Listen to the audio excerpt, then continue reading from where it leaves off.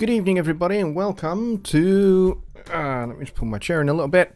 Welcome to Songwriting Simplified with just me. yeah, Johnny is uh, busy tonight, unfortunately. Uh, they had storm damage through in Chicago, um, and so he's had to go out and clear some fallen trees and that kind of stuff from uh, various driveways, that kind of stuff. So that's what he is doing. So it's just me tonight. So we're going to keep it short, sweet, and focused, would be uh, what I'd like to do tonight. So I hope everybody is well.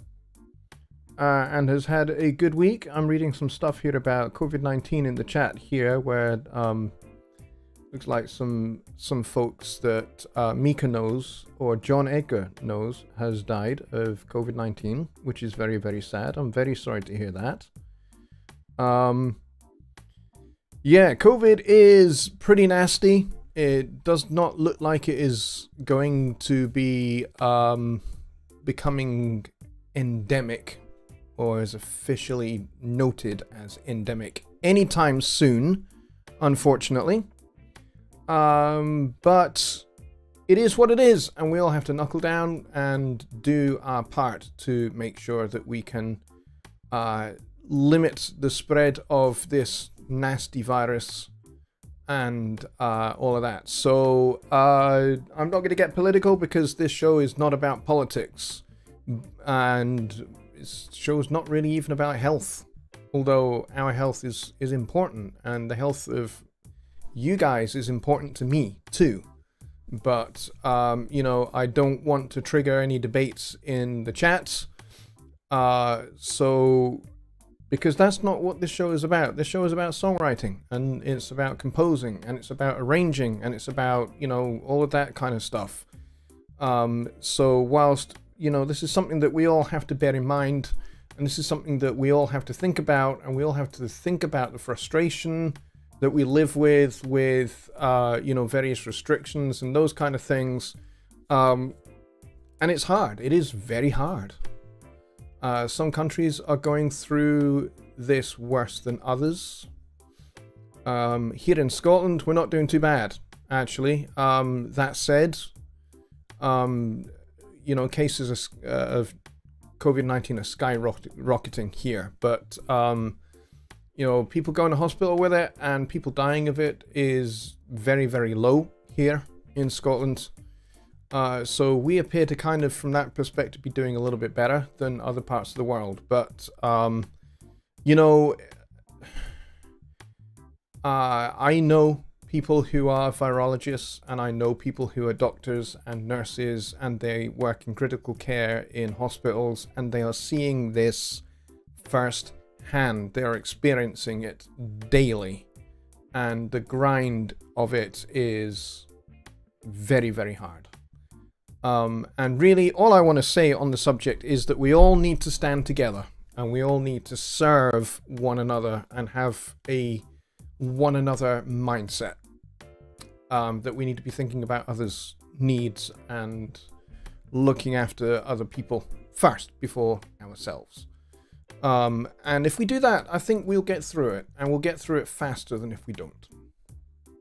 Um, and that's really all I got to say on the subject. So, if we could kind of, uh, now that you guys have been talking before the show started about this, if we could kind of end those discussions now, I would appreciate it so that we can get to songwriting questions and make tonight about that rather than anything else. And uh, it will help you guys because it will help take your minds off of it at least for an hour.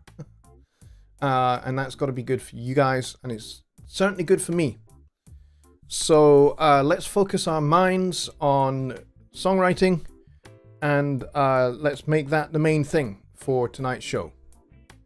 Um, I'm pretty sure that there are live streams out there that cater to medical and health issues. Um, in fact, I know of a few actually. Um, where you know there are epidemiologists and there are virologists and there are experts in the field who are doing live streams where they are helping people with this kind of stuff and they are sharing their expertise. So those are definitely worth checking out. I have been watching a few of them. So definitely do that. Uh, but yeah, this is hard. This is probably the hardest thing that we have all ever had to live with, and it's the hardest thing that we've all have ever had to live through. But we will get through it. We will get through it, and COVID 19 will at some point mutate into some very much more benign form. We saw that with the, the 1918 Spanish flu pandemic that killed 50 million people. COVID 19 is not quite on that scale. So, from that point of view, we're kind of a little bit better off than they were 100 years ago. Uh, but it's still pretty deadly. All the same. Uh, so, anyway, there we go. We will get through it. We will survive if we all hang tough and hang in there and stand with each other and care for each other. We will get through it. All right, let's get to your questions. Music is good medicine. Thank you, Dr. Lipsham. Thank you, Mika. Yes, I am a doctor, by the way, but we keep that one quiet. I don't like to talk about it very much. Anyways, let's see who we've got here. Billy Morgan, we got John Lake, Alps Media is here as well. Hello, Louis. Good to see you, buddy. Thomas Melkerson over in the Philippines. John Lake is here. Martin Weeks, John Edgar, Kevin from Kevin Guitar Stories is here as well. Marcus over in Brazil. Wow, that was a high note. Uh, I'll try and avoid doing that in future. Ironweed Studios is here as well. Wow, you guys have been chatting it up, man. Ambient Dave is here as well. He says, Good morning from the UK. How is everyone? Good morning to you, my friend. Hope you're doing well. Don Oliver is here. Hello to you, my friend. Uh, Lollipop Girl, Jaina, good to see you. And who have I missed. I'm just scrolling down through the chat, just basically scanning over it to see who's here, really. John A.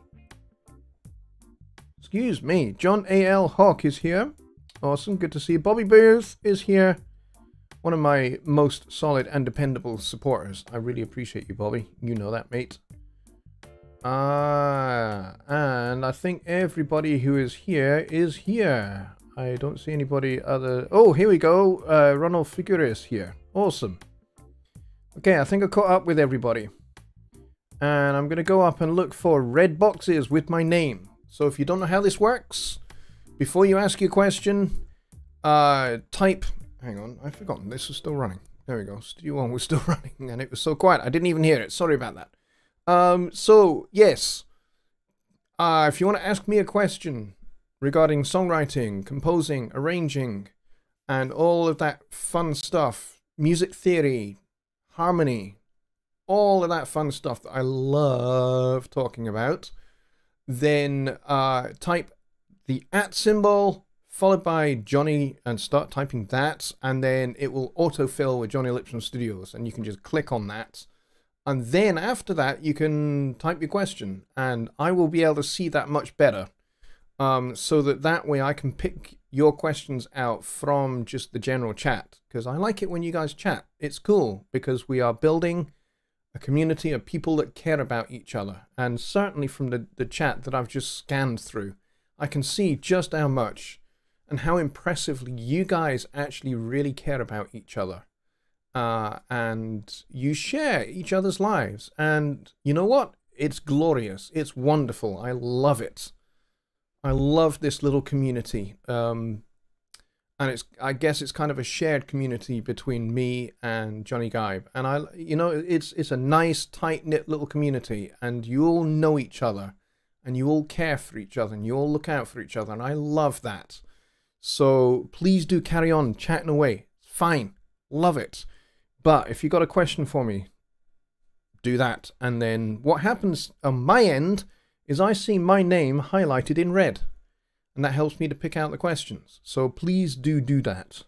And I said do do. That's bad. All right, so let's go and see who what we've got here for red boxes.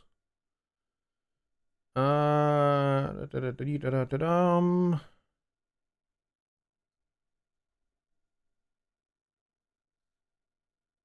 I'm trying to find questions here. Ambient Dave. Here we go. Here we go. Now we're getting into it. Ambient Dave says, Studio 5 been freezing, getting support from PreSonus, but seems like when I'm using Kontakt 6, it's really odd. Uh, yeah, I, not an awful lot I can tell you. I'm, I'm not sure which one of us is looking after your ticket. Um, but yeah, keep working with us. Keep working with us in your support ticket, and we will try and get you squared away. Um, because you've not really given me a whole ton of information there to go on. Um, but you said it seems to be that when you're using Kontakt 6, that's when you start getting the freezing. And maybe it might be something as simple as just uninstall and reinstall Kontakt and see if that resolves it. It might. Um, I've seen that a few, a fair number of times actually, where somebody says, "Hey, Studio One is crashing," or "It is freezing using this particular thing," and we're able to zero in and go, "Yes, it is definitely this that's causing it." Take that out, open up the song. Does it still freeze without that thing in it? No, it doesn't. Okay, well, we, we that confirms it. That's that's that thing. And then just do a fresh install from your user account your Native Instruments user account, just go do a fresh install of Kontakt 6 and then open up that song that was freezing and see if it still happens. If it does, then it may be that there is a particular issue specific to Kontakt 6 uh, with Studio One that maybe needs to be addressed by Native Instruments. Um, because we, you know, we at PreSonus, we don't have access to third-party code bases. So, you know, if it is a case of this particular thing is the only thing that is doing it, and we we can be absolutely certain that that's the case, then um, that would be an issue for the, the manufacturer of that plugin to take a look at. And, you know, if you get crash reports or spin dumps or things like that, you can send them to Native Instruments for them to look at and their support guys, their development development team can go, okay, there's this in this particular part of the code and they can fix that.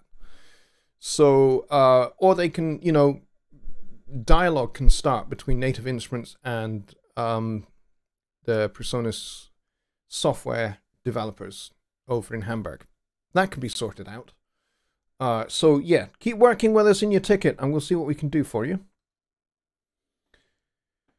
Uh, Let's go see what else there is. Uh, Marcus asked, "Do you enjoy speeches with motivational stuff? Um, with a background playing for hit the crowd positivity? I've I've seen that kind of stuff. I don't write for that, um, but I know I know people that do do that. There's a do do again. Uh, Ambient Dave says, sorry, it's James I'm working with. Okay, that's cool. James is awesome. I can absolutely vouch for him. He, um, and especially with things like Valhalla, um, Kontakt, all of that stuff, he is pretty much, of all of us, the most expert. So you're going to get somebody who really knows their stuff. For sure. Um, I've been advised by James to uninstall my Valhalla plugins, also antivirus, and done a fresh install Kontakt 6. Okay, cool. So all that stuff has been done. Cool. Ronald Figura says, upgraded to PreSonus Sphere Annual today, went off without a hitch. Yay! Welcome! We're glad to have you. Welcome, and uh, you know what? Take advantage of just about everything that there is in PreSonus Sphere. A lot of people think, hey, it's just a way in which you can buy Studio One. Yeah, it is, but that's not all there is. You not only get Studio One and everything that goes with Studio One, pretty much. There's a couple of things that you don't get. Um, but you also get Notion. If you don't know what Notion is, I can show you a little bit of Notion. Can certainly do that. Um, I don't tend to do stuff uh, in Notion on this channel, but I'm thinking about starting doing some more stuff in Notion for those of you that um, do notation and uh, would like to get to know it a little bit better. Chris Swaffer, the guy who is the product manager for Notion, uh, lives just down the road from me, and he's one of my best friends. He's awesome. Uh, and uh, we work together actually pretty darn closely. So um, maybe I will start doing some stuff on Notion. Uh, but yes, and you also get you also get videos and masterclasses and exclusive live streams from my very good friends Joe Gilder and Gregor Beyerle.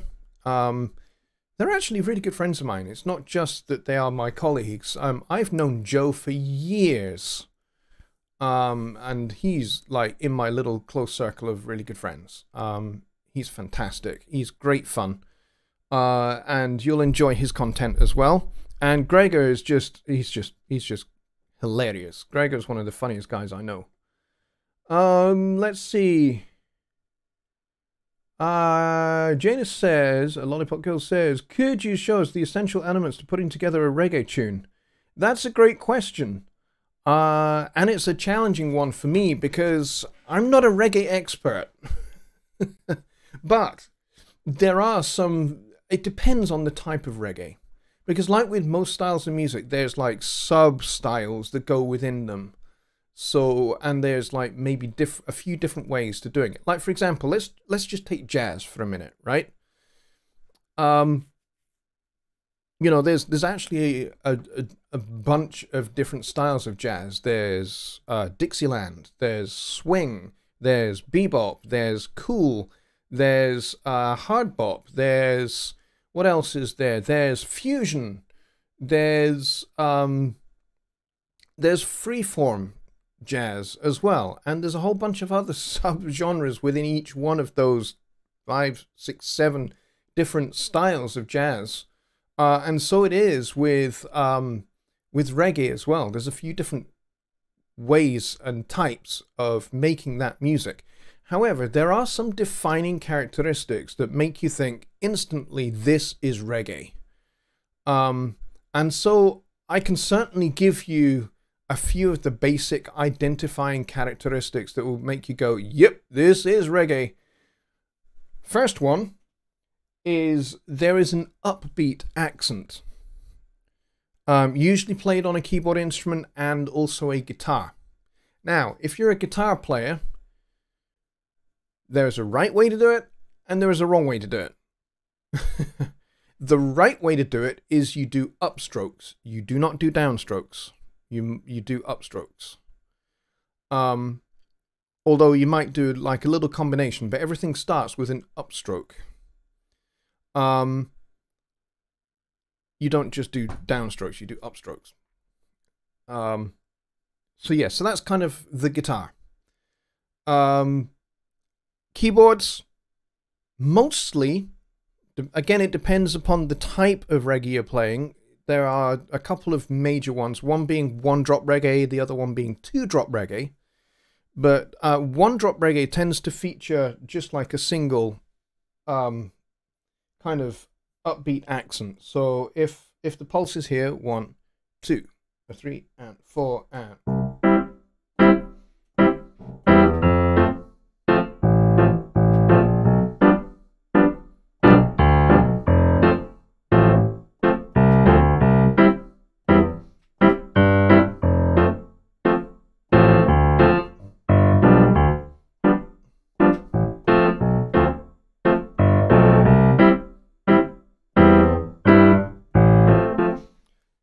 So there's a lot of space created, but the main thing is this upbeat accent one and two and three and four and one and two and three and four and and that goes on the guitar and it goes on the keyboard part.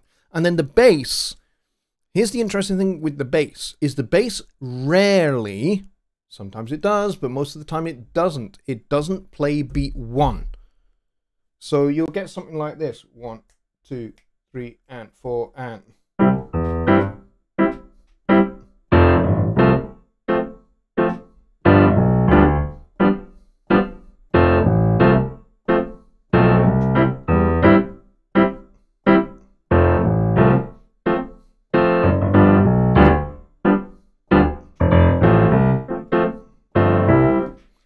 So, you know, most of the time it's the bass player is avoiding the one, and like occasionally you'll get a one, But for the most part, the bass is avoiding beat one. So what happens with the drums? The drums, again, the kick drum doesn't play on beat one. It's like an occasional thing. Like beat one would be for the start of a new section of your song. Um, but for the most part, the drums are not playing on beat one. So let's um, jump over to Studio One, actually, and I can give you um, a little flavor of that. So if I go over to my little reggae tune that you heard um, during the uh, the intro, and I'm just going to isolate my drums. So let's solo. Let's solo them up one at a time, okay? So we'll start with the hi-hat. So this is where um, the hi-hat is.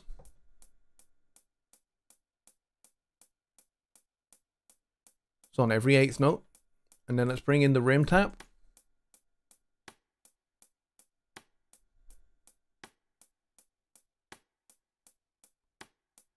And then we'll bring in the kick drum.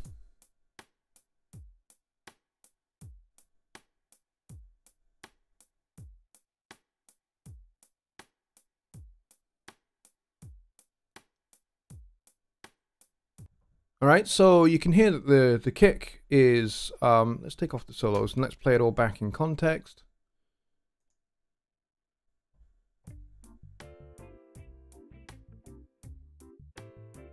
I don't know if you're hearing this. I'm certainly not hearing it. What the heck's going on here? Hang on one second. What's going on here? Oh, it's because I've got the flipping volume down. I'm an idiot. Let's start that again.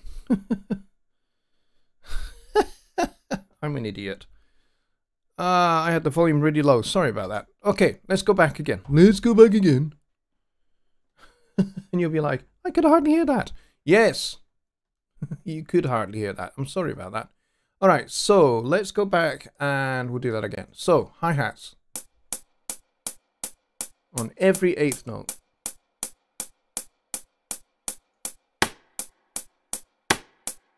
And this rim tap is on beat three.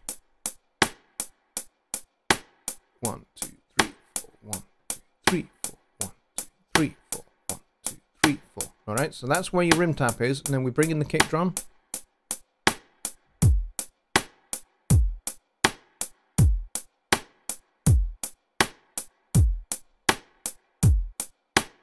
Okay, now, for the most part, what we have there is a simple 1 and 2 and 3 and 4 and, or it could be 1, 2, 3, 4, 1, 2, 3, 4. It's a very, very straight beat, and that's often what you get in reggae. Um, now, this particular type of reggae has the kick drum on 1 and 3 in a, in a, in a 4-4 bar. Um, and then the rim tap is on 2 and 4. So it's a very straight kind of pop version, sanitized pop version of reggae, to be really honest. Um, but uh, you can have a reggae beat where the kick drum is not on one, it's on three with the rim tap on three. So you get one, two, three, four, one, two, three, four, one, two, three, four. And that's probably much more common uh, in what you'd call classical one drop reggae. And it's called one drop because you get the one drop on the kick drum on beat three. Um, so this isn't particularly classically a reggae beat. On its own, it doesn't sound like it, right? It just sounds like a pop beat, right? But let's add in the other elements.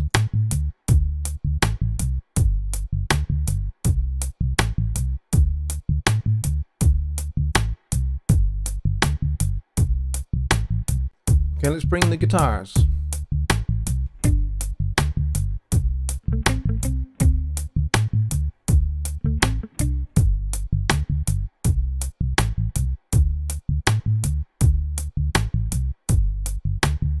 Back to the start.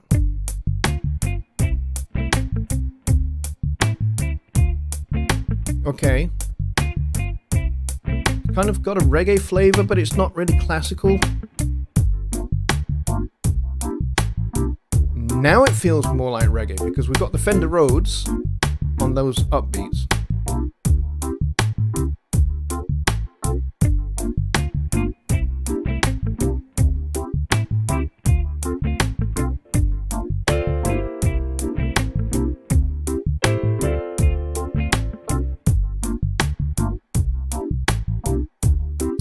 And then we got the piano playing kind of um, a little kind of offbeat figure, keeping it nice and simple. But it's that upbeat, you know. Uh,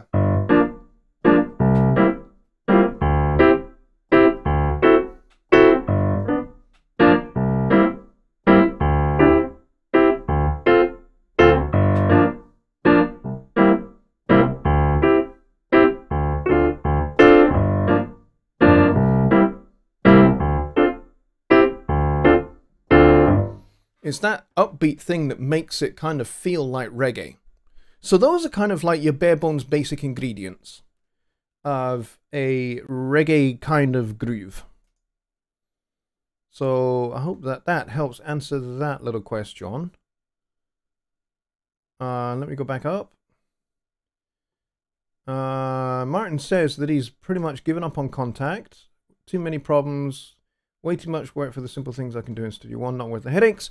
Kontakt is actually really, really good. Um, and you know what? It keeps winning awards. That's the other thing that's really amazing about Kontakt. Now, I don't have it either. I stopped using it quite some time ago. Um, but it's it's not because it's poor and it's not because it's bad software. It's because I just wasn't really using it much. So I kind of thought, well, if I'm not using it, I may as well just get rid of it. So that's kind of been my philosophy. I'm not really using it anymore, so let's just get rid. Um, but that said, there are things like orchestral libraries that that um, and other sample libraries that load into Kontakt, or they will use Kontakt um, as as a player to work in Studio One. Um, so this would be true of a lot of the, um, uh, you know, like the BBC stuff. Um, I think that has its own player, but um, the company that makes the BBC orchestra um, instrument uh, also makes a bunch of other libraries like Albion and things like that, and um, you can load all of their libraries into Kontakt. And uh, what they called? Oh, Spitfire, Spitfire Audio. That's who I'm talking about. Spitfire Audio. Um, some of their libraries load in to Kontakt 6, the free Kontakt 6 player. So you can load them out, load them in through that into Studio One. And they work really, really well. And they're really, really high quality stuff at a reasonably, really reasonable price as well. Like um, the BBC um, the full BBC package, I think, is about 500 bucks. Um, but you know what? For what you get, it's extremely well priced. Um, I have it downloaded. I have not installed it yet, but uh, that's going to be a task for this weekend because it takes quite a while. um, and uh, yeah, I'm going to get that all all done this week. All done this weekend. Um, and I will probably start doing some videos on it as well. So, and on how you can compose using it in Studio One. So, uh, that should be fun.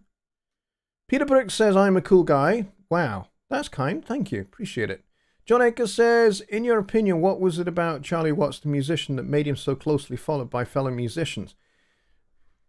Two really outstanding characteristics of Charlie Watts. Number one, he was very humble very humble. He was very generous. He was very gracious um, and uh, willing to talk to everybody. Everybody who was a musician was a colleague of his, and that's how he treated you.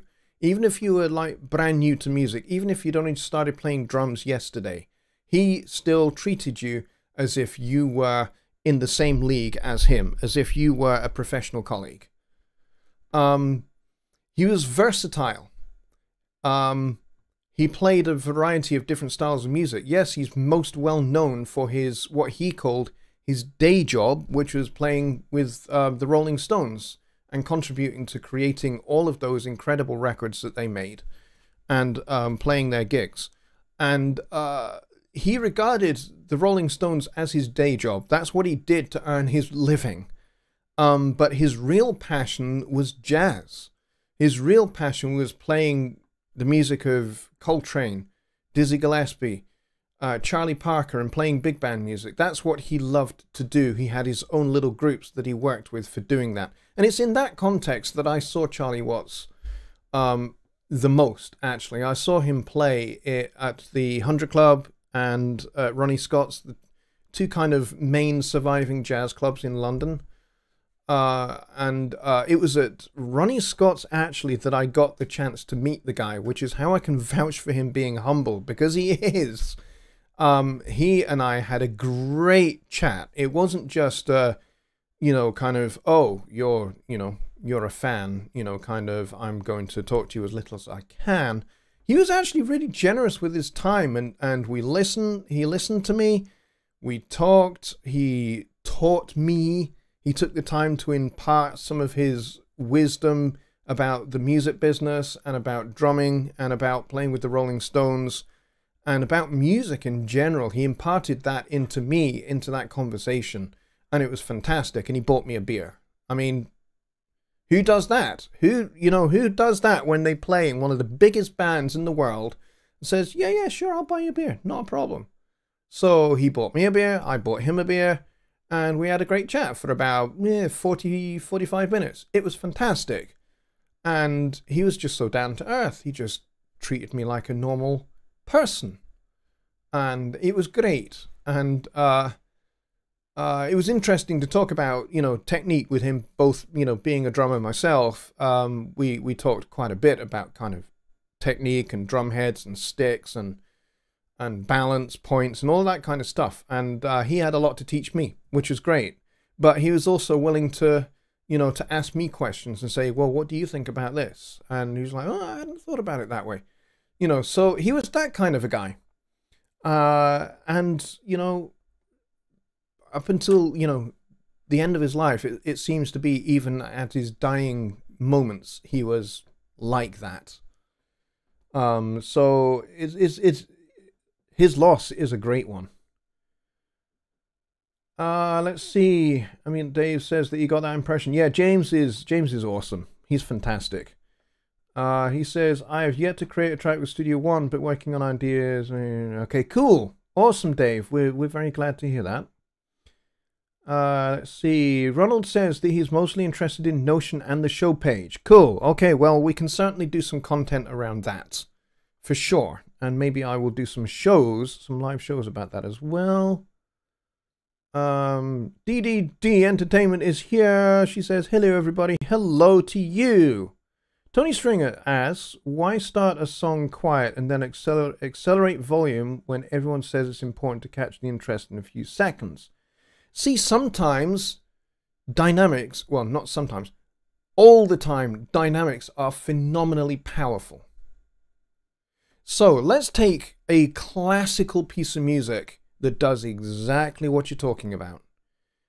And I'm going to talk about, um, I think it's Ravel who wrote um, the Bolero, which was used um, for um, Dean's gold medal winning um, ice dance in the Olympics uh, way back in the 80s. Um, and it's a beautiful piece of music, but it starts out quiet with not much in the way of orchestration going on. And uh, there are two constants, or at least there is one constant that goes all the way through, and that's the drum beat um, the bolero rhythm. Dun dun dun dun dun dun dun dun dun dun that goes all the way through the piece. But the thing is, is that as the piece progresses and develops, more and more instruments are added to it. And naturally, because you are increasing the text, the density of the texture, um, and you're adding instruments, you are automatically adding volume. So you're adding dynamics and you're making it louder as you go. And then by the end, it ends in this glorious, uh, I think it's a seven note suspension chord, which resolves um, with this um, glissando, this whole orchestral glissando down to a single note. And that's where it's that's where the piece ends. And it's fantastic. But it takes a while before it gets to this big dissonant moment. But that's the other thing that happens in that piece is it starts out very diatonic. and very, very simple harmonically and gradually grows in complexity. And it's those things that keep the listener engaged. You don't have to start big. Here's the thing with starting big. If you start with a big wall of sound, guess what? You've got nowhere to go. You cannot go any bigger than that. So, one way to control your dynamics is to keep it within, you know, a, a, a narrow little envelope, certainly to start with in your song, and then have a point in the song where you increase that, and that's when you get big, and then you can go back down again, and then you can get big again. So you can go moderately loud, moderately loud, moderately loud, big, quiet, big again. Uh, and it's those changes in dynamics and changes in texture that keep the listener engaged. And certainly, like like I have I have said several times, you know, you only have the first few seconds of your piece to grab your listener's attention. And you can do that with dynamics. And Ravel certainly did that with the Bolero because it's quiet and it when it's quiet, your ears are automatically a lot more attentive than when it's bam, smack you in the face with a wall of sound. So, loud can be good. Loud can state your intention. For example, contrast um, Ravel's Bolero with um, Holst's first movement of the Planet Suite, Mars, Bringer of War. I mean, Mars, the Bringer of War, that, that whole piece is loud pretty much from start to finish. There are points where the dynamics go down a little bit, but for the most part, it's just a wall of sound, which is perfect for describing Mars, the bringer of war. Mars is aggressive, angry. Whereas the bolero is a is a dance. It's a it's a very intimate, romantic dance, and it's passionate as well and it grows in passion and it grows in demonstrativeness. If there is such a word, there might not be. If so, I have invented it, and I shall phone Webster's after this show. Um, but yeah, it grows. The dance itself grows in wider and wider gestures and more and more passion. And so the music does that as well. Uh, so there's all of those things. You don't have to smack people in the face with a wall of noise to just get their attention. You can do it with a with just, you know, an oboe and a snare drum or a flute and a snare drum. And, you know, that just states the melody just with the drum accompaniment and then add something else and then add something else and then add something else. And gradually you build up all the way. You build up all the layers until you have everything in and now everybody is like, okay, we're sitting back a little bit from the speakers. You know, it's like, I'll give you one final analogy, but you probably got my point by now. But I'll give you one final analogy. Uh, we'll take a school scenario. Unruly class.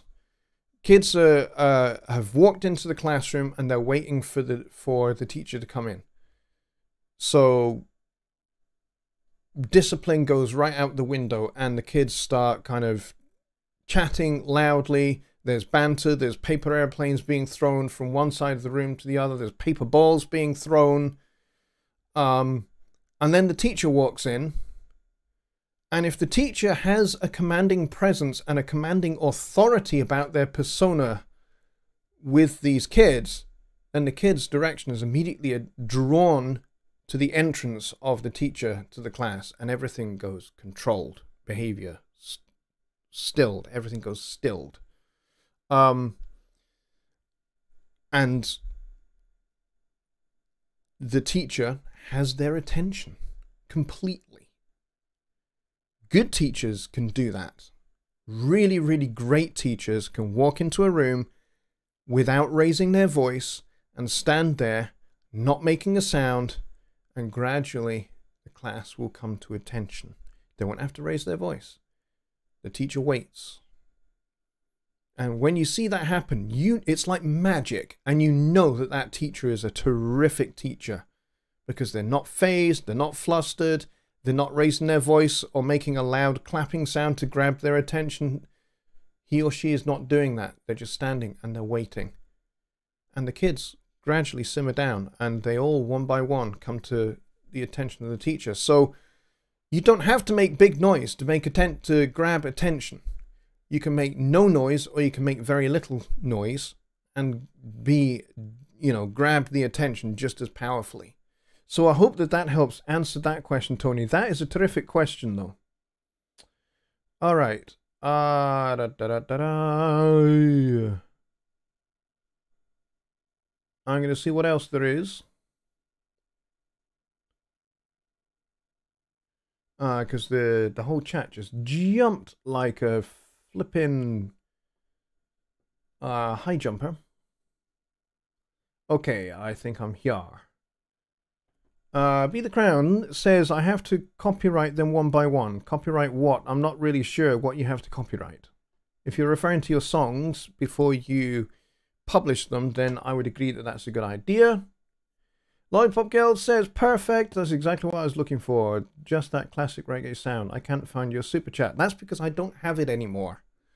Um, uh, if you go back maybe 10 shows, I think I explained why I did it. Um, yeah, I think I made a fairly um, clear an explanation of of why I did that. And Thomas has, has confirmed that. Yep. Uh, Ambient Dave says, I rely on Kontakt for my huge collection libraries. There you go.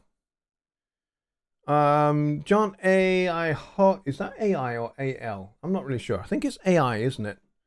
He says, uh, an overview on Impact would be good. I've never used it, and when I open it, I get confused. Impact is really cool. Impact is a very cool tool, and I can certainly do something about that to help you. Um, let's go and create a new song, and we'll go Instruments, and we'll grab in Impact. And we'll switch over to Studio One. Okay, here we are, Impact. Let me just have a swig of drink. Hold on a second. Okay. Impact, you have um, a bunch of drum pads. It looks like one of those Akai MPC kind of devices, and you can click on these. They're not going to make any sounds because there's nothing loaded up, but you've got all of these banks of 16 pads.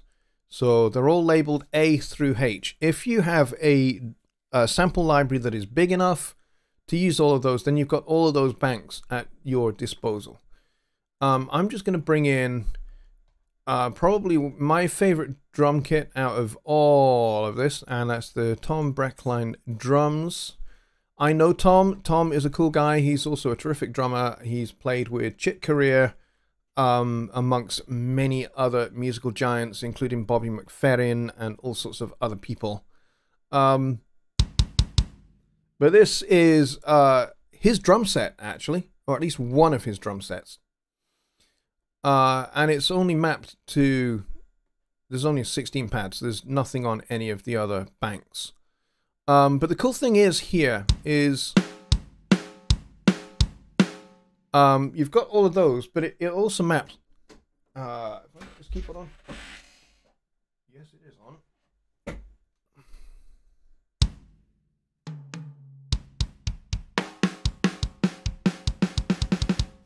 Um, it maps to your controller keyboard as well.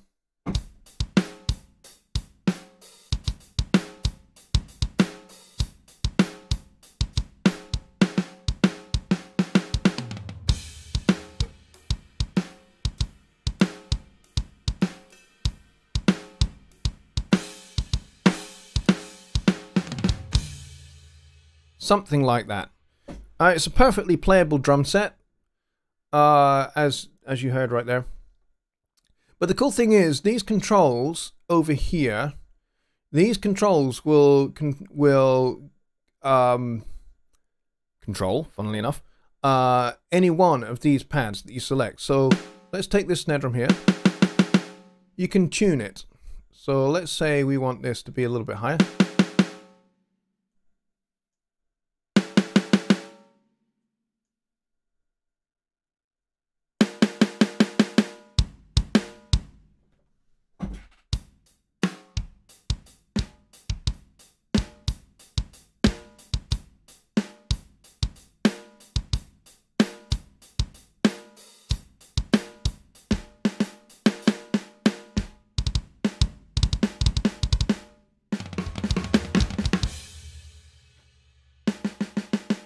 So I've adjusted the tune of this snare drum and it will stay that way and I can change the velocity, I can change the envelope of it, I can change some of the attack and the hold and the decay on it as well. So there's all of those parameters and then I can decide how it's going to trigger um, and it's it's got a bunch of different layers and they're layered by velocity uh, and all of that. Okay, so you've got a whole bunch of these parameters here. Um, and you can change the panning, you can change the amplitude, there's all of that you can you can deal with here. And then there's a filter here, so you can decide if you want some extra drive, some punch. Uh, if you want to um, soft clip, you can turn that on as well. So there's like a whole bunch of different things. And you can do this on every single pad, and then you can store that preset. So you can fully customize this basic drum set and uh, then you can store it and you can call it uh, Tom Brechtlein Drums Modified or something like that. Uh, so it's very, very cool. Uh, it's very, very powerful and you can decide which controller is going to um, it's going to receive input from. So I could make it just so that the Atom SQ controls it or my Yamaha QS QS300 controls it. Um, I normally have that set to none so that um, basically any device will control it. So, so my Atom SQ is doing that. Or my keyboard. I've got the choice. So I hope that helps. That gives you a little bit of an overview. Uh, let's see. Ambient Dave said, I was so sad Charlie Watts passed. He was just a decent bloke. No showboating, very humble. Yes, absolutely. I was very, very sad too. Uh, Don Oliver says, My Sphere account ends in November. Love it. Will PreSonus let me know when to sign up again? Saw it for 30% off this week. Hope to get that deal in November. Um, the, the sale that was on this weekend was just for this weekend. So uh, there may be another sale. There may not be. I don't know. Um, I don't actually, unfortunately, know very much about what goes on in uh, our sales and marketing departments. Um, but even if I did, not allowed to talk about that. Um, suffice to say, um, just keep your eyes open um, to the PreSonus website, to your Sphere account, and uh, you know when there are sales you'll know about them uh, and you'll get emails as well. So keep an eye on your inbox keep an eye on the website keep an eye on your account and you know when sales and things like that come up again you can take advantage of them. Um, but yes you will get a reminder note uh, uh in your account and you'll also get an email sent to you saying hey it, your um, your membership is up for renewal. Do you want to continue or do you want to, you know, do you want to renew or do you not want to? Um, because you can cancel at any time. You can go to account plan and you can hit cancel there. Um, that's easy enough to do if you want to drop out. Or if you want to renew, you go to account and plan again and you will be able to um, renew there uh, kind of when that uh, renewal period comes up uh, in November. So hang in there. Uh, hope to get that. Yeah, yeah, you won't be able to get that deal um, because that was just this weekend. Any cool tips for creating Halloween exclusive tracks? I love anything horror wise. Uh, to be honest, I don't know. I mean, horror stuff. Um, I'm sure that there are some horror sample packs kicking about um, that you might be able to borrow uh, some of the samples from and make use of those. There might be some freaky sound effects, that kind of stuff. Um, what I find is if you can find a really good church organ sample, make use of that because you can make some really scary music using a very slightly detuned, very slightly phased uh, church organ and you can really totally get into freakiness there and some dissonant chords and that kind of stuff. Um, but yeah, other than that, that's all I can really think of. Louis says Presonus' offer will be over by then, but just get in touch with me and I'll have special prices for anyone here or on HST. Absolutely. If you're in the United States, Louis is the man to go to. Absolutely. Um, because he can definitely hook you up with some special prices on Presonus gear. Uh, because he is an authorized dealer, reseller, that kind of stuff. He's very, very good at coming up with a good deal for people. Uh, Ronald says the first cut on Peter Gabriel's Up album. Uh, okay. Okay, cool. Secret Squirrel says he's saying hello to everybody. Okay, cool. Lost track of time. Sorry to be tardy. Yeah, well, you know, you're gonna get a black mark against your name. You know that, don't you? um, let's see. John Edgar says, seriously. Okay, I'm listening. What are the main differences between what you and Johnny Gibe are doing as the quote new music educators of today versus what is taught in a university school of music? That's a good question. Um, the difference, the difference really is that we teach, um, we teach what we know and what we have experience of, particularly with something like Studio One. We use Studio One all the time. We use Studio One daily. Um, Johnny is a beta tester and he's been around Studio One since day one. Uh, since actually just before it was actually officially launched. He was on the very first PreSonus Studio One beta team. So that's how long he's been involved with Studio One. So if anybody knows anything about Studio One, it's Johnny. And so Johnny teaches what he knows in his uh, inimitable style. Nobody can teach quite like he does. Um, that's definitely true. Um, we also have our own curriculums we decide what videos we're going to put out. We decide, we create the content as we see fit, as we please. You know, there we we're not kind of bound to those kind of things that you would get in a music school or a university. The other thing is, is that what we teach, there is no certification at the end of it. There's no, here's a test. You need to now go and revise for the test, take the test, and then you get your certificate at the end of it to prove that you actually know the stuff that we've been teaching you. Um, there's none of that. This is kind of like learn what you want to learn from us when you want to learn it. So in that respect, it resembles more kind of like an adult education learning center, like a like a night school, that kind of thing, um, where learning is a little bit less formal. There's no formalized structure. Um, so there's all of that. However, I have a qualification in music education. I'm a qualified university lecturer in music and music technology.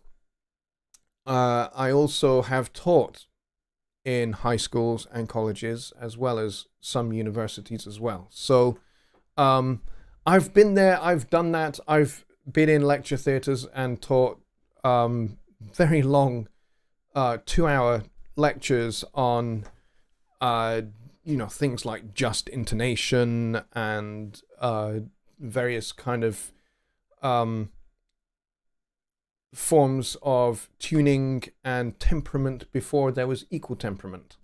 And also different types of equal temperament that that also do exist that um, are not necessarily universal. Uh, I taught things like that. Uh, and then of course there were tests. I devised examination courses. I wrote a degree course in uh, uh, jazz composition, which is still taught in one particular university. Um, I wrote um, a um, a standard certification course for high schools in Scotland, um, teaching um, music technology uh, which is now pretty much standard in a whole bunch of schools. Uh, so I, I did that. I've written courses. I've um, I've had my courses accredited um, by professional educational bodies, stuff like that. So I've done all of that, and now I'm sitting here in my studio talking to you guys into a camera, live streaming to YouTube, and I teach pretty much whatever I, I think you guys would find interesting.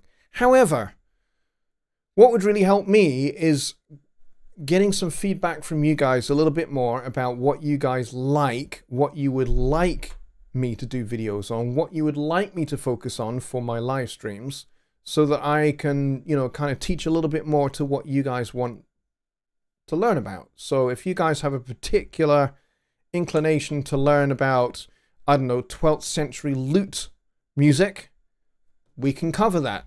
I've got books, not on the shelf up there, but I've got books on 13th century um, and 12th century music and music harmony and musicology. So sounds like fairly dry subjects, I know. But, you know, if, if you guys are into that, I will make content on it. And if enough people are up for it, if it's only like three people, sorry guys.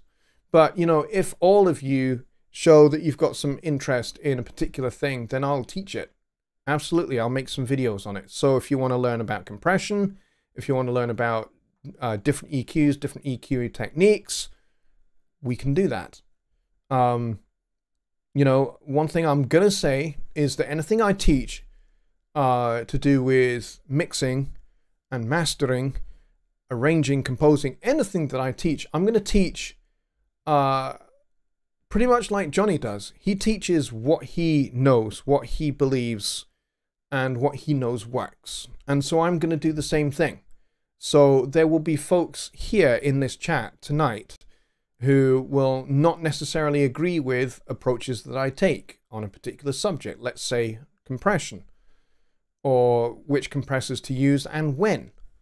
I will have a particular view because this is the way I have always done it. I learned this way, I was taught this way, I apply those things, and so I teach those things.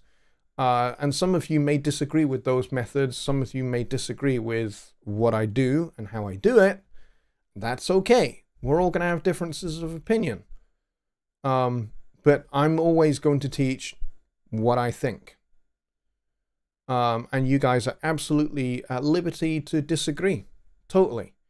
Um, but just remember that this is my show. but yeah, that would be that would be that on that subject. So yeah, that's the difference between me and Johnny and Berklee School of Music. uh,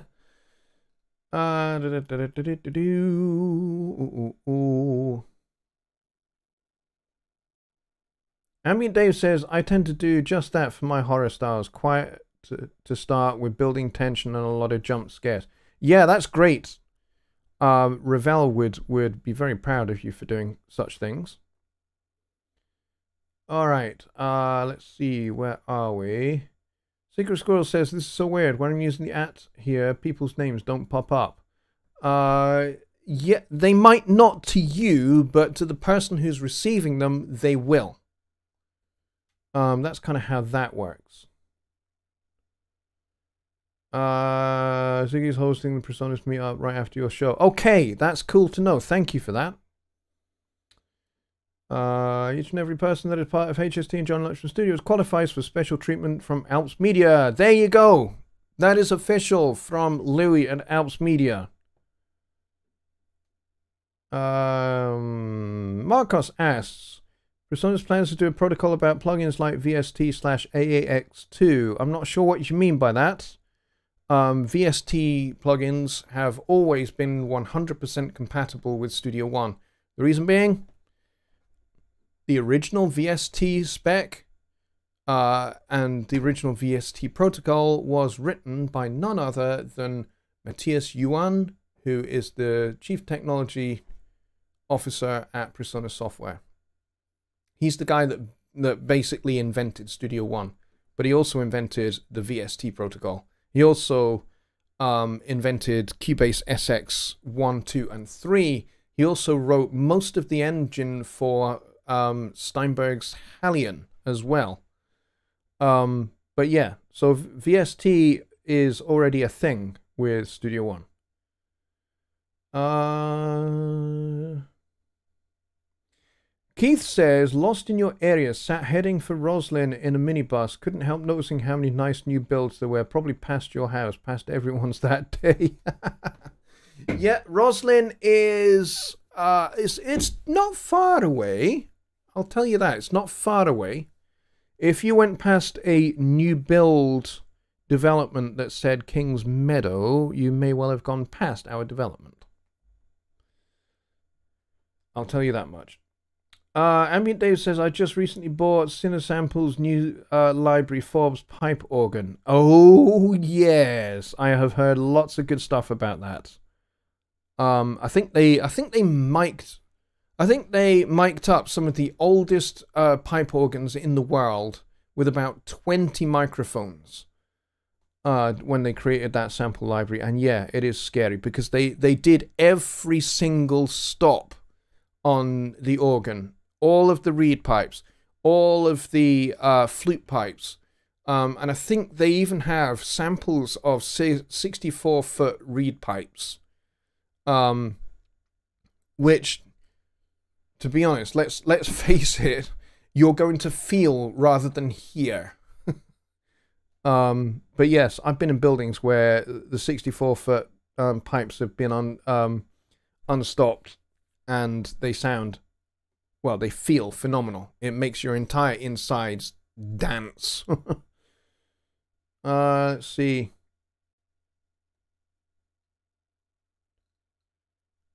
Uh, da, da, da,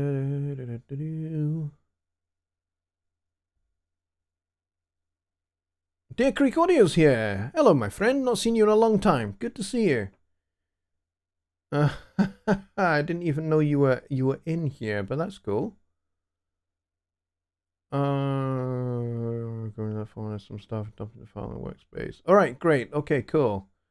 Marco says, your patience, you don't do weak explanations, treat everybody well and are serious about your task. Yep, that's that's how I was taught as um when I was when I was uh learning my craft as an educator. That's how I was taught.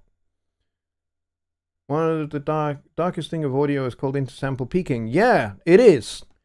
It is, and that's because you know you can you can clip your audio and you never see it in the waveform or you rarely see it in the waveform and certain uh, triggers in some DAWs won't even detect it. And uh, but you you can hear it. You can hear intersample peaking. Um, and so one of the ways you can, one of the ways, there are several, but one of the ways in which you can avoid it is to set the threshold of your limiter on the post of your master fader to minus 1 dB, not like minus 0.1 or minus 0.2 dB, because that's too close to 0 dB. And so, you know, intersample peaks can actually go over 0 dB, never be limited, never get touched by your limiter, and they can peak considerably and you'd never know it except you would hear the distortion in your in your finished render and you go wow that does not sound good. But there was no peaking so why does it sound distorted? And that's why intersample peaks.